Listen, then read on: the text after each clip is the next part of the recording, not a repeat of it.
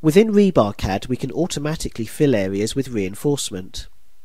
Here we are going to detail a slab. Select the area detail, pick the outline, select any holes that you need to be removed from the detail and select the direction of the ranges. Add the clearances for the bars and also the clearances for the range and finally the clearances around the openings. Change the centres, enter the size of the bars you are using, change any configuration on the ranges that you require, and then hit OK.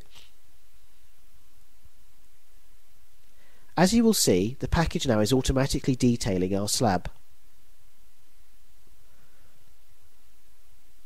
Placing all the bars, including varying bars.